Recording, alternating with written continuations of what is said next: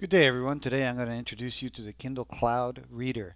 This is a plugin for Firefox, uh, Google Chrome, uh, and the uh, Safari web browsers.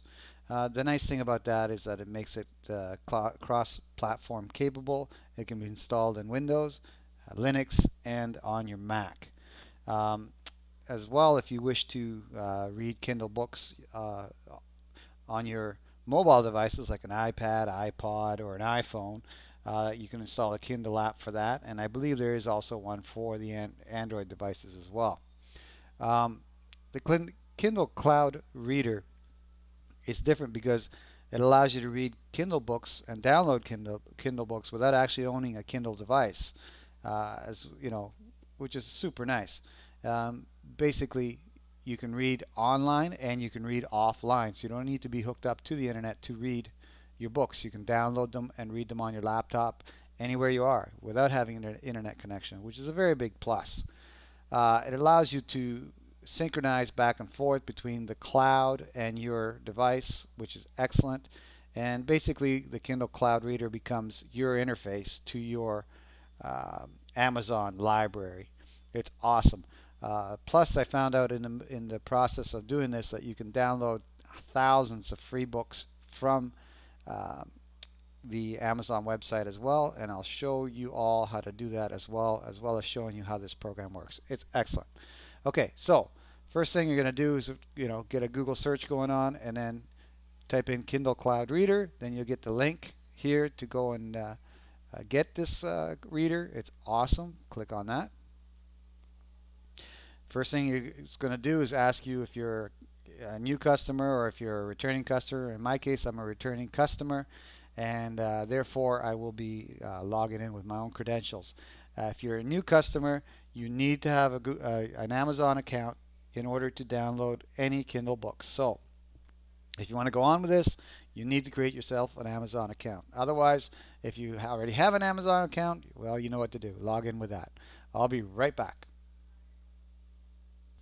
Okay, so I've logged in with my credentials, uh, as, as well as you should have as well.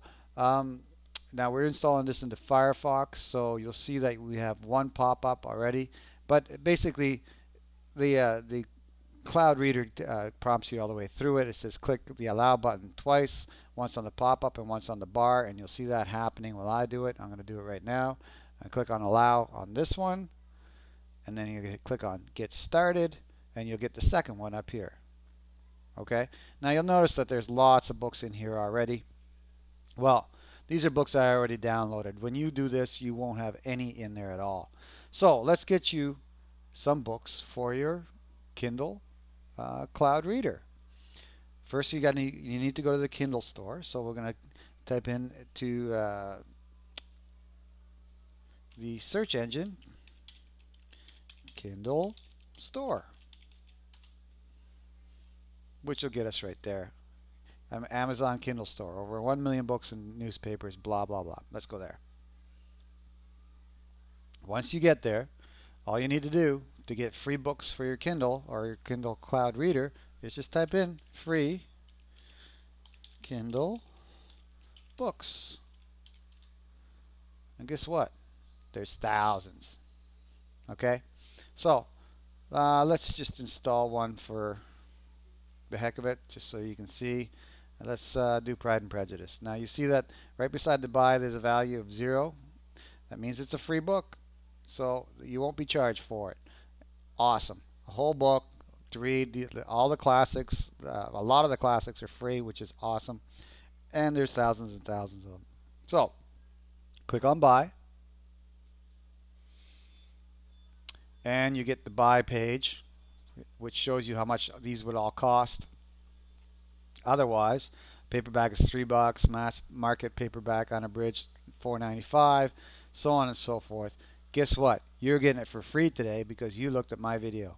Now, it says here buy now with one click. Well, you're buying it for zero cents, so it's free, and it says deliver to. Well, I have the Kindle app on my uh, three my iPhone and on my iPod, but I want it delivered to the Kindle Cloud which both those apps have access to. So once you put something into your cloud, it's a virtual library and that's uh, being stored there and can be accessed through your Kindle app on your iPhone, iPad, or you know Android device and so on. So now that we got it set, when I say buy now it was one click. Got that happening. Over here it says read now in Kindle Cloud Reader, so we're going to do that. So I can show it to you. And there it is, Pride and Prejudice in full glory. Now, you get all these you know all these controls at the top so I'll show you how they work. Let's go back and let's go to the let's show you the first one. So we're going to go to the that, we're looking at the cover. Now we're going to go to the beginning. At the beginning we're going to say I'm going to highlight this and you just left click on it and it gives you the option to highlight I'm going to highlight it now it's yellow as it should be let's go to another page a couple pages down. Let's highlight this and click highlight. And now you want to see all those things. Well, here's how you manage your highlights. Notes and marks. It shows you what you've highlighted and where it is. Location 1, location 30, and it can take you right to it. So we'll go here and I'll go back to the first page as well as you can delete them. So we're going to delete, delete, so there's no marks in that page. The other thing you can do here is you can put a bookmark on it or you can change your font size to bigger, to uh, change your margins, change it to black or sepia or whatever you want. I'm going to leave mine the way it was, but you see that you have those options. Okay. Now, those are that's the basic controls of how you use the uh, uh, Kindle Cloud Reader, which is awesome. So there you go. So let's go back to the library. And you have all the books that are, you know, currently uh, in your cloud, right? Now, I go to download it, and I see that I have Pride and Prejudice. Okay? And you click it, and then off you go. So we're going to go back to the library and back to the cloud. All right? And here you have a search function, you have a refresh, and you have terms of use, legal notices, contact us, and sign out. You may want to sign out when you're done with this so other people don't peek at your books or your library or do anything to your library. Now, uh, you see that you have the book and you can pin the book and you can open the book, but you cannot delete it, which is a real pain in the butt.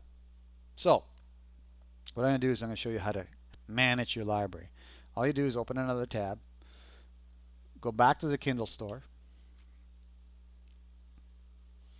and in the Kindle store you're going to have manage your Kindle. So I'm going to click on manage your Kindle.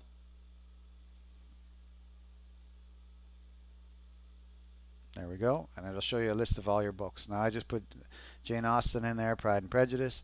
I want to get rid of it. Well, I can read it now by clicking over here on Actions, deliver it to my whoever, let's click on that. Uh, you can deliver it to your, your phone, you can deliver it to your iPod, whatever, right? Uh, we don't need to do that. I'm just showing you your options. Uh, you can clear the furthest page read. In other words, you can start from the beginning again, or you can do what I want to do, which is delete it from my library. So delete from library. Are you sure? Yes. There you go. That deletes it from the library. Now, we go over here to Cloud Reader and you'll see it's still there. But you do a refresh.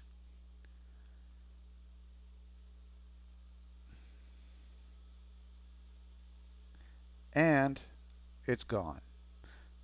So your virtual library is now one less book. So this is, you know, basically a very awesome way to have your own private library. Takes up no space, doesn't uh, use any paper, and it's accessible from any device that you have. And even if you get a Kindle, this will be uh, the basis of the Kindle and the books that you have in your Kindle will be available through this. So, I think it's awesome. I'm a book nut, so this is, uh, you know, really great for me. Um, I hope you found value in it. Uh, I hope you have a great day, and I thank you very much for watching. And uh, if you have any questions, make sure you put them in my YouTube section. Thank you. Have a great day.